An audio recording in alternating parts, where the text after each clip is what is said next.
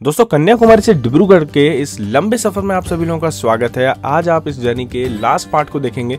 वैसे मैं आप लोगों को बता दूँ, कन्याकुमारी जो कि भारत का आखिरी हिस्सा है, वहाँ से हम लोगों ने इस यात्रा को शुरू किया था और कई राज्यों को पार करते हुए, बहुत सारी खूबसूरत चीज़ों को देखते हुए हम लोग डिब्रूगढ़ तक के अपने सफ़र को तय करने वाले हैं। दक्षिण भारत से शुरुआत हुई थी हमारी इडली वड़ा से और हम लोग रास्ते में बहुत सारी चीज़ें खाते हुए, आलू चाप, बंगाल के रसगुल्ले, ऐसी बहुत सारी चीज़ों को एक्सपीरियंस करते हुए अपने सफ़र में आगे की ओर बढ़ रहे थे। सुबह और शाम भी हमें ऐसी देखने को मिली है जैसे कभी भी इंडियन रेलवेज में नहीं देखने को मिली थी। और हाँ ऐसी ही उम्मीदों को लेकर के आज हम लोग गेटवे ऑफ़ नॉर्थ ईस्ट से एंटर कर चुके हैं और हम लोग आज नॉर्थ ईस्ट इस वीडियो में एक्सप्लोर करेंगे। उम्मीद करता हूँ ये जर्नी भी आपको पसंद आएगी। चलिए इस वीडियो को शुरू करते हैं।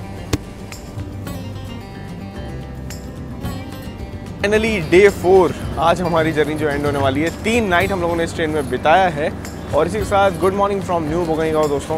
450 का अपना अराइवल टाइम था और यहाँ पे हम लोग 650 पहुँचे दो घंटे के डिले के साथ। बोगईगांव बहुत ही खूबसूरत रेलवे स्टेशन है। ऐसा इसलिए है क्योंकि ये एक नदी के ऊपर बना है। दुनिया रिवर के ऊपर। भारत का एकमात्र ऐसा रेलवे स्टेशन है जिसे किसी नदी के ऊपर बनाया गया है। हम लोग आज बढ़ने वाले हैं गोपाल पारा टाउन से होते हुए, गुवाहाटी की ओर। काफ़ी नया रूट है, इसमें मैंने कभी ट्रैवल नहीं किया है। ये बांग्लादेश बॉर्डर के करीब होते होते ले जाता है हमें गुवाहाटी तक। और एक और रूट है यहाँ से बारपेटा रोड रंगिया होते हुए, जो गुवाहाटी की ओर जाता है। ट्रेन हमारी यहाँ पाँच दस मिनट रुकेगी, अगर लाल चाय वगैरह मिलती है तो वो ले लेते हैं, क्योंकि मौसम असम में आने के बाद बहुत ही खूबसूरत है। बारिश वाला मौसम लगातार बना हुआ है। पूरा मतलब अगर चारों तरफ़ देखें ना पूरा मतलब बारिश ही बारिश है। लगेगा नहीं आपको सुबह के सात बज रहे हैं अभी। तो दोस्तों, ये है दुनिया रिवर, जो कि न्यू बोंगाई गाँव रेलवे स्टेशन के नीचे ही बहती है।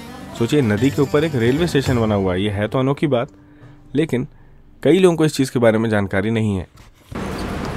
ज़्यादा देर अपनी ट्रेन यहाँ भी नहीं रुकी है, और वैसे मैं आप लोगों को बता दूँ, यहाँ आते आते हम लोगों ने 3500 किलोमीटर की जो दूरी है ना, उसे तय कर लिया है। अभी हमारी जर्नी बहुत बाकी है। अभी तो डिब्रूगढ़ तक का सफ़र बाकी है। लेकिन बेस्ट बात यह है कि फील नहीं हो रहा है कि 3500 किलोमीटर हम लोगों ने पूरे किए हैं आज जर्नी में और तीन नाइट स्टैंड में बिता चुके हैं।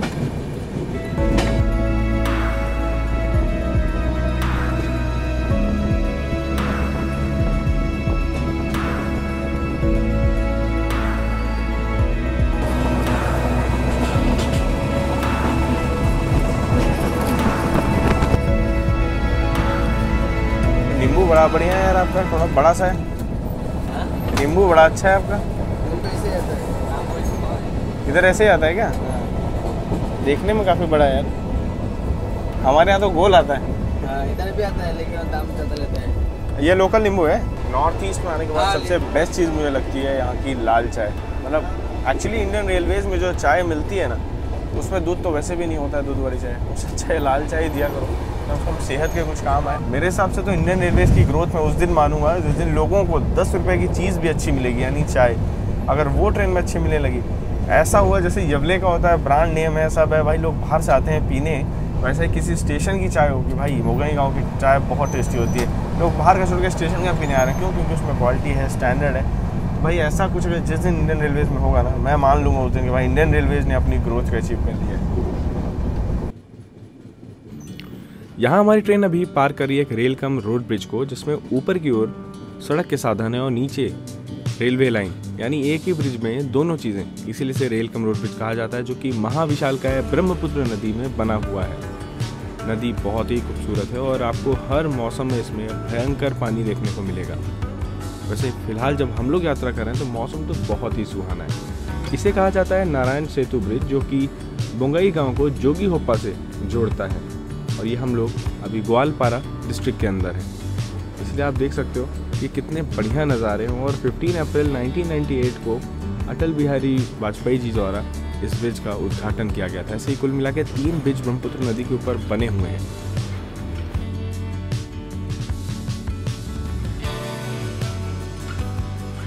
और इसी के साथ हम लोग दो घंटे के डीले के साथ पहुँचे ग्वालपारा टाउन जहाँ पे हमारी ट्रेन का मात्र दो मिनट का हॉल्ट था और यहाँ से भी कई सारी सवारियाँ इस ट्रेन में चढ़ी और कई लोगों ने इसे डिपोर्ट भी किया है। इस सफ़र के दौरान बहुत सारे लोग हमसे मिले और बहुत सारे लोग बिछड़े भी और कई लोगों के साथ अच्छे अच्छे रिश्तों को बनाते हुए हम लोग इस सफ़र में आगे की ओर बढ़ रहे थे और इंतज़ार था उस पल का जो एक इस यात्रा में केवल एक ही बार होता है। वो है डिब्रूगढ़ से कन्याकुमारी की ओर जाने वाली विवेक एक्सप्रेस के साथ क्रॉसिंग जो कि आप केवल एक ही बार इस जर्नी में कैप्चर कर सकते हैं।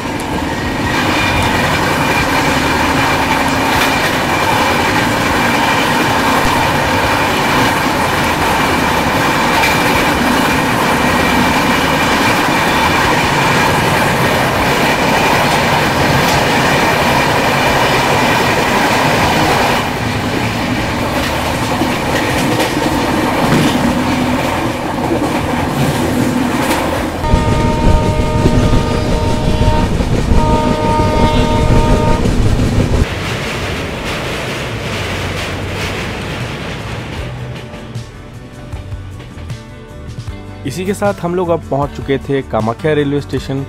और यहाँ पे कामाख्या माता का मंदिर है। कभी अगर आप लोगों ने दर्शन किए हैं तो कमेंट सेक्शन में लिखिएगा ज़रूर। लेकिन मैं आप लोग से सीधा मिलता हूँ अभी गुवाहाटी रेलवे स्टेशन में, जहाँ पे हमने खाना ऑर्डर किया था, जो कि हमारा इंतज़ार कर रहा है। तो हम भी देखते हैं, चलिए क्या आने वाला है आज। और हमारी ट्रेन में डीजल लोकोमोटिव इस ट्रेन की शोभा को बढ़ाते हुए।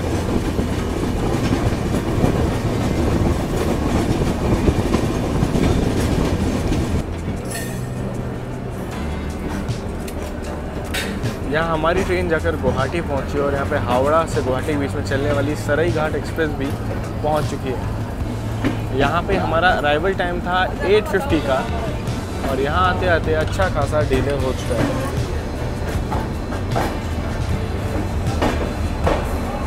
यहाँ हमारी ट्रेन पहुँची है 10:39 पे ऑलमोस्ट वन आवर 50 मिनट्स का delay and welcome to the gate of north east यानी गुवाहाटी रेलवे स्टेशन यहीं से मेन नॉर्थ ईस्ट जो है वो शुरू होता है।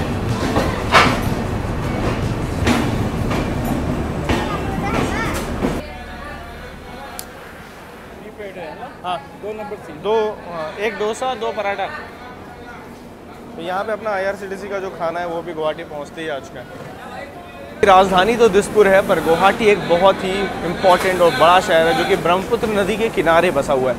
अगर आप लोग को नॉर्थ ईस्ट में बड़ी बड़ी जगहों में जाना है ना तो आपको यहाँ गुवाहाटी तक फ़्लाइट्स मिल जाएँगी। स्पेशली अगर मेघालय जाना है, शिलोंग अगर आपको जाना है, चाहे बाई रोड जाओ बाई रेल जाओ, या बाई एयर जाओ तो मेजर कनेक्टिविटी गुवाहाटी ही आपको यहीं उतर करके बाकी साधनों को लेना पड़ेगा। इनफैक्ट घूमने आने वाले यात्रियों के लिए भी गुवाहाटी बेस्ट जगह है। कभी अगर आपको मौका मिला है, अगर आप गुवाहाटी में रहे हो तो कमेंट सेक्शन में लिखिएगा ज़रूर। और एक और चीज़, जो लोग गुवाहाटी से है ना भाई कमेंट सेक्शन में लिखना ज़रूर, क्योंकि आपका शहर मुझे बहुत ही पसंद आया है। पहुँचते पहुँचते हम लोगों ने लगभग छः से सात राज्य तो पार कर ही लिए, जिसमें हमने शुरुआत की थी। तमिलनाडु से फिर पहुँचे हम लोग केरल राज्य में। केरल राज्य के बाद हमारी ट्रेन पहुँची आंध्र प्रदेश उड़ीसा वेस्ट बंगाल, फिर थोड़ी देर के लिए झारखंड भी गए थे और उसके बाद असम में एंट्री की और अब देखिए, अपना सफ़र यूँ ही इंडिया को एक्सप्लोर करते हुए हम लोगों ने 3600 किलोमीटर की दूरी को तय कर लिया है और जर्नी जो है हमारी बहुत ही कमाल की यहाँ तक रही है। अभी लगभग हम लोग 12 घंटे की जर्नी और इस ट्रेन में करने वाले हैं। 12 नहीं ऑलमोस्ट 11 आवर्स मुझे लगता है डीले है, इसलिए 12 घंटे ज़्यादा का समय लगेगा। और टोटल 75 फाइव आवर्स से ज़्यादा की जर्नी हमारी इस गाड़ी में होने वाली है। तीन नाइट इसमें स्पेंड किया, लोगों से अच्छे खासा मिलन हो गया, दोस्ती हो गई तो बहुत सारे लोग उतरे भी, चढ़े भी। तो एक फैमिली वाली फीलिंग थी, मज़ा तो काफ़ी आया। और यहाँ से जब पैंट्री की सर्विसेज़ बंद हो रही, इसलिए मैंने ऑनलाइन फ़ूड ऑर्डर कर लिया। लेकिन हाँ बाकी रूट में जो भी चीज़ मिलेंगी ना एक्सप्लोर करते रहेंगे और आपको दिखाएँगे ज़रूर। फ़िलहाल डिपार्चर सिग्नल उसका, चलिए चलते हैं ट्रेन में। यहाँ पे प्लेटफॉर्म नंबर तीन से हमारी ट्रेन 11 बजे निकल रही है अच्छा खासा हॉल्ट यहाँ पे था। काफ़ी देर तक ट्रेन रुकी है, थोड़ी बहुत मेंटेनेंस भी हुई है ट्रेन की यहाँ पे। और यहाँ बाजू में राजेंद्र नगर डिब्रूगढ़ कैपिटल एक्सप्रेस भी जो है वो आ चुकी है। लोकोमोटिव बहुत शानदार लगा उसमें सेलिब्रेशन का।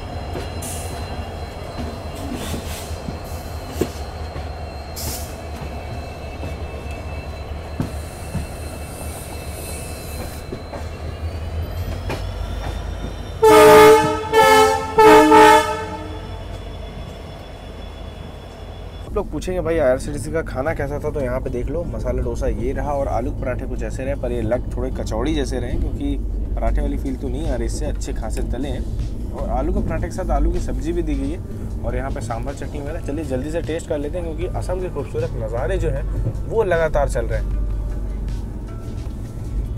सबसे पहले मसाले डोसे को मैं टेस्ट कर लूँ, क्योंकि ये मुझे पर्सनली काफ़ी पसंद है। वैसे दो तीन दिन से खा रहा हूँ, लेकिन फिर भी पराठे वगैरह चीज़ों से ज़्यादा मुझे ये चीज़ पसंद है।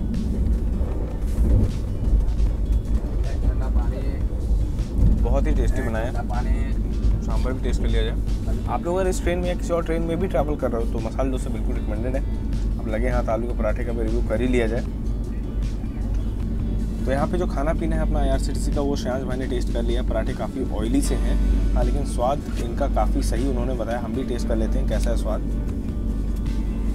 आलू की सब्ज़ी भी दी अच्छी बात यह है कि अगर मान लो ना अच्छा लगे आपको,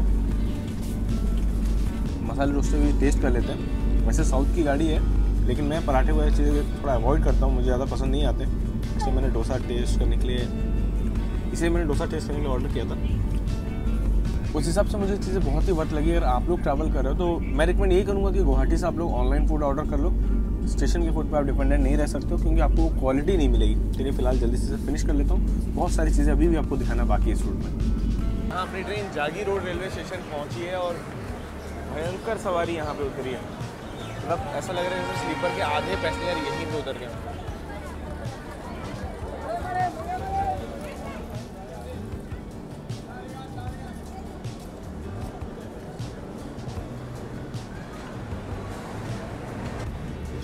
मेघालय जाना होता है ना, उनके लिए जागी रोड काफ़ी अच्छा स्टेशन रहेगा। यहाँ से लगभग 40-50 किलोमीटर की दूरी पर ही है। मेघालय राज्य का भी बॉर्डर भारत का बहुत ही प्रमुख हिस्सा है मेघालय। खैर, अभी रेलवे द्वारा वो टच सेक्शन नहीं है इतना ज़्यादा बट हाँ वहाँ भी रेल नीर की बॉटलें आपको ज़रूर देखने को मिलती। और ट्रेन के पेंट्री कार के कप्स और खाने पीने की प्लेट्स वगैरह। सबसे अच्छी बात यह कि नॉर्थ ईस्ट में आपको गंदगी वगैरह बहुत ही कम देखने को मिलती है और बहुत ही खूबसूरत वातावरण है। मंदिर देखिए सामने, कितना खूबसूरत लग रहा है।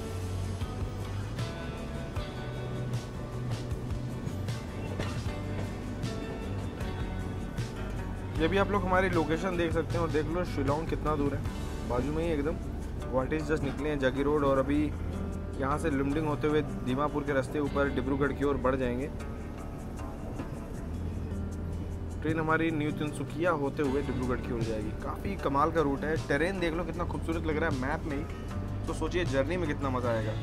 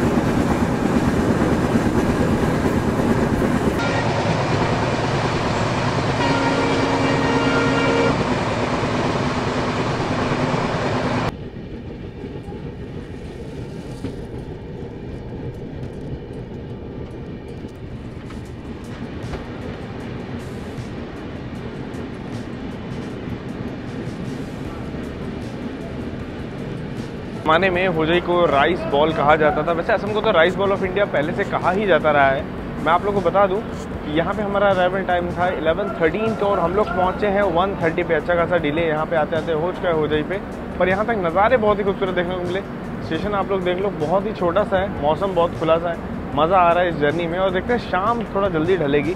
मैंने जैसे कि सुना था कि असम वगैरह में शाम काफ़ी जल्दी ढलती है तो मैं देखना चाहता हूँ। कि आज वो मौका होता है कि नहीं और शाम कितने बजे तक ढलने वाली है? डेढ़ तो यहीं बज चुके हैं। आगे बहुत ही खूबसूरत सेक्शन आपका इंतज़ार कर रहा है। चलिए जर्नी को कंटिन्यू करते हैं।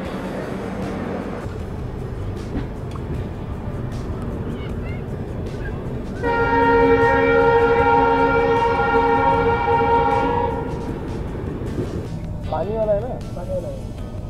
मलाई वाला भी है क्या? मलाई वाला भी है। एक मलाई वाला एक पानी वाला दो मलाई वाला। इतना बढ़िया नारियल पानी ट्रेन में मिलेगा और मुझे इसे निकलते ही मिल जाए तो थोड़ी एनर्जी वापस अच्छे हुई रूट कवर करने के लिए। जल्दी से फिनिश करते हैं। भैया भी वेट कर रहे हैं इसे कटा के मलाई वगैरह भी खानी होगी यहाँ पे भाई असम के केले भी आते हैं भैया बाज़ार से ऐसे बड़ा साइज़ होता है इनका। हमने तीन ही पीस किया है बस वो दस रुपये पीस के हिसाब से। मोटा होगा तो वो फौजी का वो लोग खाता है।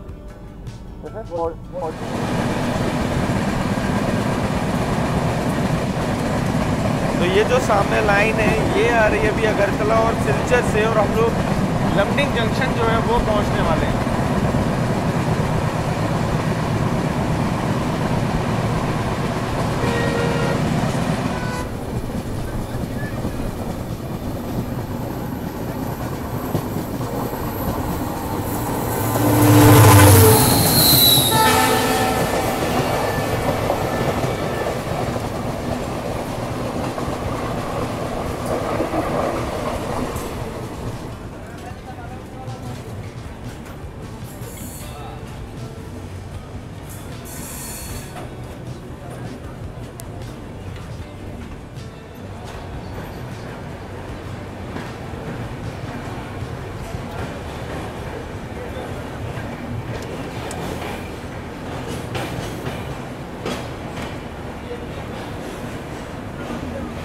3,777 किलोमीटर की दूरी को तय करके हम लोग पहुँच गए हैं लमडिंग जंक्शन एक ज़माने में मीटर गेज ट्रेन का बहुत ही इंपॉर्टेंट और बहुत बड़ा हब हुआ करता था यहाँ से मतलब ऐसी ऐसी ट्रेनें चलती थी ना कि मीटर गेज का ये हब था यहाँ से गुड्स ट्रेनें पेट्रोलियम टैंकर वाली ट्रेनें साथ साथ एक्सप्रेस ट्रेनें जिनमें टू ए का ए सी चेयर कार का इन सभी तरह के कोचेज़ भी लगते थे। धूप जो है काफ़ी दिखी और यहाँ पे अपनी कन्याकुमारी डिब्रूगढ़ विवेक एक्सप्रेस फाइनली आकर के पहुँचे लमडिंग जंक्शन। हमारा यहाँ पे अराइवल टाइम था लगभग दो बीस सोच के हम लोग को लमडिंग जंक्शन पहुँचते पहुँचते एन का सबसे बड़ा जंक्शन रेलवे स्टेशन, मैं इसे कहूँगा। बाकी आप लोग अपनी राय बताइएगा ज़रूर। और अगर आपको अगर अगरतला बदरपुर, सिलचर इन सभी खूबसूरत रूट्स को एक्सप्लोर करना है ना तो आपको यहीं उतरना पड़ेगा। हम लोग खैर ऑलमोस्ट डिब्रूगढ़ तक जाएँगे तो ज़्यादा पहाड़ वगैरह, नज़ारे वगैरह बहुत ज़्यादा नहीं देखने को मिलेंगे। लेकिन जो सबसे most scenic section most beautiful section है जो एन एफ़ आर का, यानी नॉर्थ फ्रंटियर रेलवेज़ का, वो शुरू होता है लमडिंग से अगर आप सिलचर, अगरतला इस रूट में जाएँगे तो। बहुत सारी चीज़ें, बहुत सारी देखने लायक चीज़ें, बहुत मज़ा आएगा अगर आप इस रूट पर ट्रैवल करेंगे तो। फ़िलहाल मैं आपको दिखाता हूँ बाकी का रूट दीमापुर वगैरह आने वाला है, जो कि नागालैंड में बहुत सारी चीज़ें हैं यहाँ इस रूट पर एक्सप्लोर करेंगे अभी। অনুগ্ৰহ কৰি মন কৰিব এক পাঁচ ন শূন্য পাঁচ Kanyakumari Dibrugarh town Vivek express via Goalpara যাবলৈ সাজু হৈছে প্লেটফৰ্ম নম্বৰ চাৰি অৰ পৰা কিছু সময় পিছত প্ৰস্থান কৰিব ধন্যবাদ एक दो तीन का जो साइड है वो कुछ ऐसा दिखता है हमारी ट्रेन तो प्लेटफॉर्म नंबर चार पे आई थी खैर और ज़्यादा देर हम लोग यहाँ रुके नहीं हैं वो बहुत ही ज़्यादा कड़ी है। और वैसे कुछ दिन पहले आप लोगों ने हाफ़ लॉन्ग रेलवे स्टेशन के बारे में सुना होगा कि भयंकर बारिश में पूरा स्टेशन में पहाड़ पहाड़ भी मतलब गिर गया था ऑलमोस्ट और बारिश के कारण पूरा डूब गया था, तबाह हो गया था। वो जो खूबसूरत रूट है, वो जो सीनिक रूट है ना, उसके लिए भी आपको लमडिंग से ही ट्रेन लेनी पड़ेगी। हाफ़ लॉन्ग के लिए ट्रेन आपको यहीं से मिलेगी। तो कभी अगर आप घूमने आना चाहते हो, जो हमारा नॉर्थ ईस्ट है, उसे बाई ट्रेन एक्सप्लोर करना चाहते हो ना तो आपको लमडिंग से नीचे की ओर जाने वाली ट्रेन लेनी पड़ेगी। अगर तला बैंगलोर, कैंट हमसफर बहुत ही सुंदर ट्रेन है। उसमें अगर आप ट्रैवल करोगे तो सारा सीनिक सेक्शन आपको दिन में देखने को मिलेगा। और भी बहुत सारी ट्रेनें हैं। बाकी अगर आप लोग चाहते हैं, मैं उसे कवर करूँ तो कमेंट सेक्शन में लिखना। हो सकता है आने वाले एक महीने के अंदर में पहुँच करके वापस से नफर आप लोग के लिए कवर करूँ।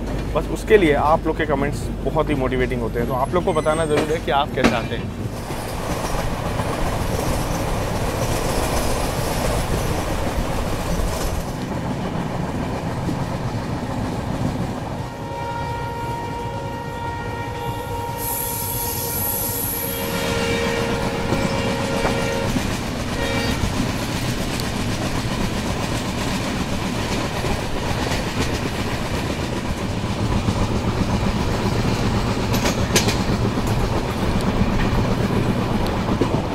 लोगों ने बाँस से दीवारें बना रखी हैं, घर भी बना रखे हैं। वाकई में काफ़ी टैलेंटेड हैं यहाँ के लोग।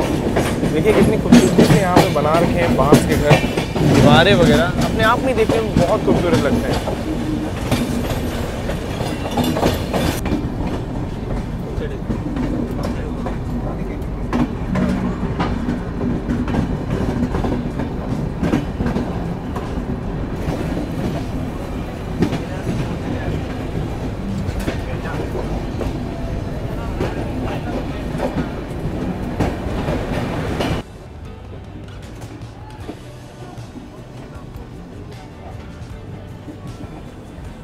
चालीस का अपना अराइवल टाइम था दीमापुर में और हम लोग यहाँ पे तीन चालीस पहुँच चुके हैं।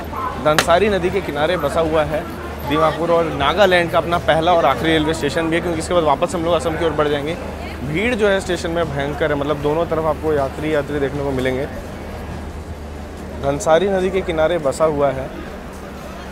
बहुत ही खूबसूरत सा रेलवे स्टेशन है मतलब मीटर के ज़माने की याद दिलाता है। प्लेटफॉर्म की हाइट वगैरह बहुत ही कम है, खाने पीने की चीज़ें आपको दोनों तरफ़ स्टेशन में मिल जाएँगी। और सामने से कोई ट्रेन भी आ रही है जिसके लिए यहाँ पे जो अच्छी खासी भीड़ लगी हुई है। देखते हैं, चलिए कौन सी ट्रेन आ रही है पहले।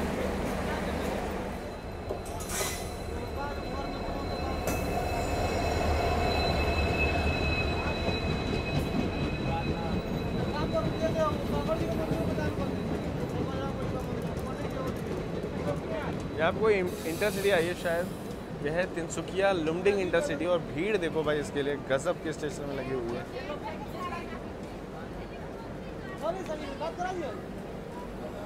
और गर्मी काफ़ी ज़्यादा और ऐसे में इतनी सारी भीड़ को झेलना वाकई में काफ़ी दिक्कत भरा सफ़र हो सकता है।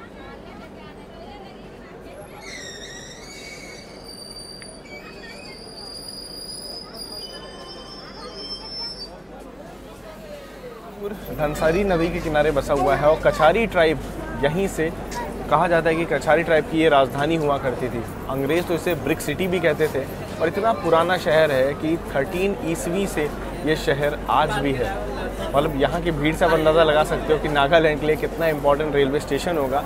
यहाँ हमारी ट्रेन अभी पाँच मिनट से ज़्यादा रुक चुकी है और मैंने एक चीज़ देखी यहाँ पे, बाँस का जो उपयोग है, यानी बैम्बू का जो उपयोग है, बहुत ज़्यादा होता है। घर की दीवारें वगैरह बनाने में फेंसिंग बनाने में और ऐसी बहुत सारी चीज़ों में। और इनफैक्ट यहाँ पे चटाई वगैरह, मैट जिसे आप कहते हो, वो सभी चीज़ें भी बहुत ज़्यादा देखने को मिल रही हैं। तो मतलब बहुत अच्छा लगा मतलब लोगों की क्रिएटिविटी को देख करके कि यहाँ पे ऐसी चीज़ें खैर बन रही हैं। बाकी यहाँ से कुछ समय अपना डिपार्चर होगा, अभी और भी बहुत सारे स्टेशन बाकी हरमुती जंक्शन जो कि जहाँ से जोरहट की लाइन और ये परकटिंग जंक्शन की लाइन आती है, ये सभी चीज़ आपको दिखाना है, बहुत सारी चीज़ें एक्सप्लोर करनी है। चलते हैं ट्रेन के अंदर क्योंकि डिपार्चर का जो सिग्नल है वो हो चुका अवध असम भी आ चुकी है, जिसके बाद हमारी ट्रेन को यहाँ से डिपार्चर सिग्नल जो है वो मिल चुका है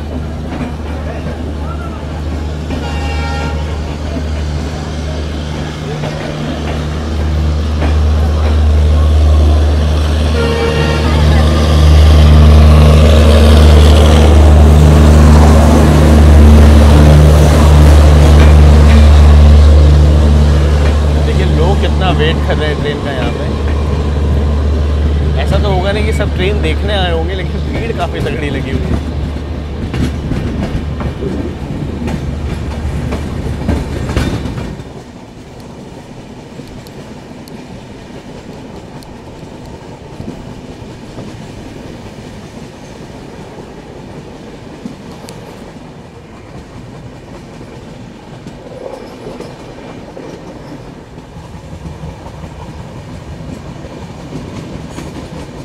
दोस्तों अभी डे फोर चल रहा है और ये कोकोनट वगैरह भी हमने ले लिया था और साथ में असम के स्पेशल बनाने मिल गए थे। तो चलिए इसे टेस्ट कर लेते हैं कैसा है स्वाद, क्योंकि देखने में तो थोड़े यूनिक लग रहे हैं। और वैसे भी अभी बाकी जो स्टेशन है फुरकटिंग वगैरह, उन्हें आने में टाइम है। इसका जो स्वाद है केरला बनाने जैसा है। तो कोई बहुत ज़्यादा अंतर नहीं हाँ। लेकिन अगर आप लोगों ने केला बनाना नहीं खाया तो आपको शायद है कि थोड़ा यूनिक लगे। बाकी कुछ समय में पहुँचेंगे, अभी फॉरगेटिंग भी। और यहाँ पे एलिफेंट जोन के सिंबल वगैरह बने हुए थे यार तो जो लोग यहाँ से कमेंट सेक्शन में लिखिएगा ज़रूर।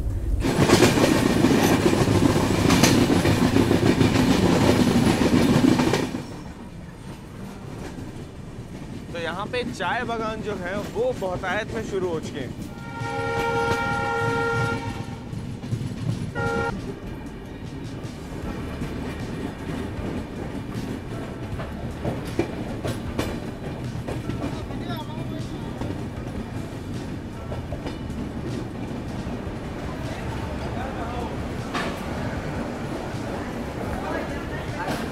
दोस्तों, यहाँ पे हमारी ट्रेन आज के फुरकटिंग जंक्शन जहाँ से जोरहट के लिए जो लाइन है, वो अलग हो जाती है।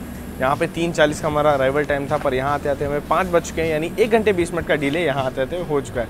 स्टेशन बहुत ही खूबसूरत सा, हरा भरा सा है तो स्टेशन तो काफ़ी अच्छा लग रहा है। वैसे आप लोग मेरे को बताइएगा कभी अगर आप लोग यहाँ पे आए हैं या यहाँ से गुजरे हैं तो बाकी नॉर्थ ईस्ट में सनसेट बहुत ही जल्दी हो रही है। अभी तो बस पाँच ही बजे और यहाँ पे देखिए सनसेट जो है वो शुरू हो चुकी है। जोरहट वाली लाइन आप देख सकते हो, कैसे वहाँ हमसे अलग हो रही है। जोरहट वाली लाइन आप लोग देख लो, यहाँ पे हमसे अलग हो रही है और हम लोग बढ़ रहे हैं मरियानी की ओर।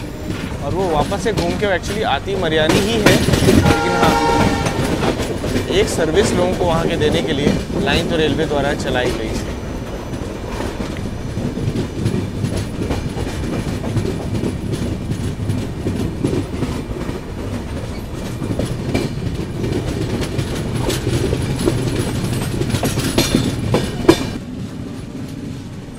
यहाँ लोगों के पास मैंने एक चीज़ देखी कि सबने अपनी खुद की पौंड बना रखी यानी लेक हर घर के आगे आपको लेक मिल जाएगी।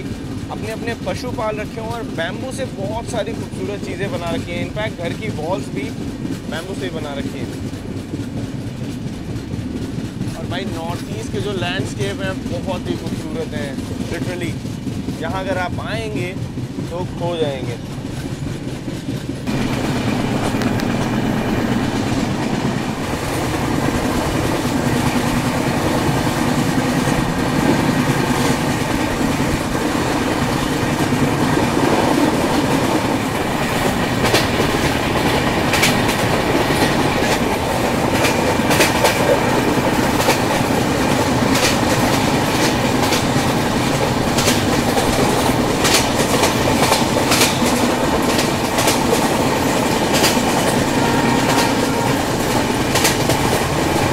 लोग पहुँच रहे हैं मरियानी जंक्शन और यहाँ पे आप लोग जो देख रहे हो ना, चाय बागान वगैरह इंडिया के लार्जेस्ट जो टी गार्डन है ना, वो मरियानी में ही है। यहाँ पे आप देखो, सारे कितने सारे दूर दूर तक चाय बागान आपको देखने को मिलेंगे, और ऐसे ही चाय बागान आपको जर्नी में भी देखने को मिले होंगे फुरकटिंग से यहाँ तक। इसीलिए मरियानी बहुत फ़ेमस हुआ है।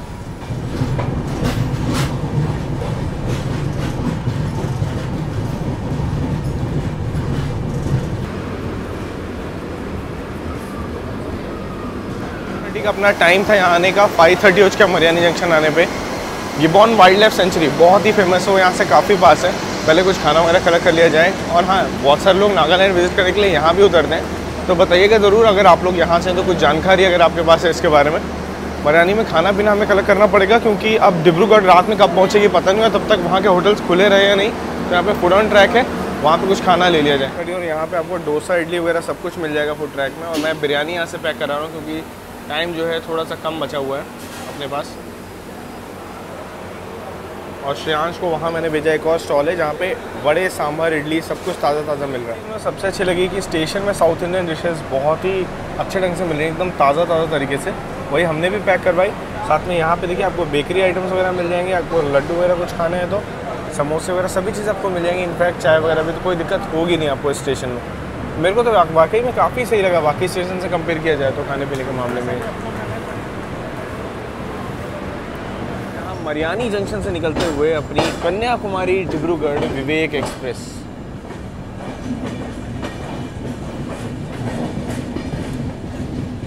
और इसी के साथ शाम भी हमारी यहीं पे हुई है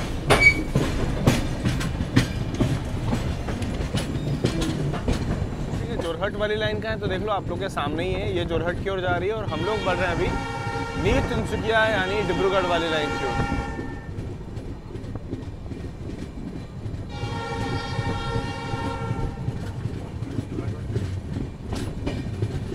सभी चीज़ें हमने कलेक्ट की हैं मरियानी जंक्शन से, जहाँ पे ये वेज बिरयानी है, साथ में मसाला डोसा, वैसे वड़े हमने अलग से खरीदे हैं, ये इसमें कॉम्बो में नहीं थे फिफ्टी रुपीज़ के हमें पड़े हैं। चलो देखते हैं स्वाद कैसा और बिरयानी हाँ एट्टी रुपीज़ की पड़ी है। तो जल्दी से टेस्ट देखना है क्या ये वर्थ है अपने प्राइस के हिसाब से? तो संदीप भाई बताएँगे कैसी है बिरयानी यहाँ की। क्योंकि काफ़ी देर से हम लोगों ने कुछ इस टाइप की आइटम खाई नहीं है स्नैक्स में जी रहे हैं। कैसी है? हो गया क्या इसमें? बहुत ही बढ़िया। वर्थ है क्या? बहुत ही अच्छी है। अच्छा बाकी आइटम और भी चेंज चलिए मसाला डोसा को मैं ट्राई करके बताता हूँ कैसी। भाई डोसा खाने का तो वैसे कुछ खास मन नहीं था लेकिन सादी चीज़ें मिल जाए तो वही बेटर होता जर्नी के दौरान। एक बेस्ट बात ये है ना कि वहाँ एकदम ताज़ा ताज़ा बन रहा था और वहाँ भीड़ लगी हुई थी मसाला डोसा, साउथ इंडियन खाने के लिए। इसलिए मैंने लिया। अब सांभर मेन चीज़ है, देखते हैं कैसा स्वाद। एवन एकदम। बहुत ही बढ़िया स्वाद है। अगर इस रूट पर ट्रैवल कर मरानी जंक्शन आपके टाइम पे दिन में पड़ता है तो ये सभी चीज़ें आप टेस्ट कर सकते हो। बहुत ही अच्छे हैं और स्वादिष्ट हैं।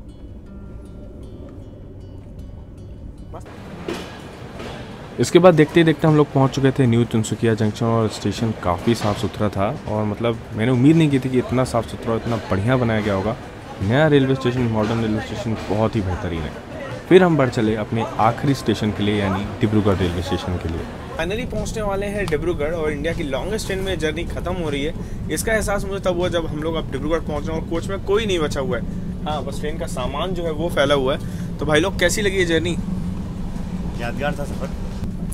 तो वाकई में ये तो बहुत अच्छा लगा कि ये मेरी पहली जर्नी थी किसी भी लंबी गाड़ी में और इंडिया की सबसे लॉन्गेस्ट ट्रेन कन्याकुमारी से लेकर अब तक अलग अलग लोगों से मिले अलग अलग कल्चर देखे लैंडस्केप बदलते हुए देखे। वाकई में बहुत कुछ सीखने को मिला इस गाड़ी में बहुत कुछ देखने को मिला इस गाड़ी में। और इस घर को जा छोड़ के जाने का मन नहीं कर रहा। एक हमारे घर जैसा ही हो गया बहुत सारे लोग इस घर में आए मेहमान बन के आए। हम लोगों ने मतलब सात आठ लोग तो मतलब सीटों में बदलते हुए देखे हैं रोटेशन में जो पाँच पाँच घंटे छः छः घंटे। कोई लोग चौबीस घंटे के लिए आए थे लेकिन हम शुरू से टिके थे। ऐसा लग रहा था सबका स्वागत कर रहे हैं सामान सेट करवा रहे हैं। थोड़ी देर जब वो जा रहे हैं तो ठीक है भाई लोग ऑल द बेस्ट आप लोग की तो जर्नी अभी भी बाकी है करके। जो ट्रेन का स्टाफ है वो भी घुल मिल गया था सब कह रहे हैं, अरे यार भैया मतलब जा रहे हैं अब उन्हें बुरा लग रहा है कि चार दिन से जिनकी शक्ल देख रहे हैं वो भी छूट रहे हैं। स्टाफ के साथ खाते पीते सफ़र काफ़ी यादगार था काफ़ी मज़ा आया। चलिए मिलता हूँ आप लोगों से डिब्रूगढ़ अराइवल पे जो कि जस्ट अभी होने वाला है तीन नंबर तीन नंबर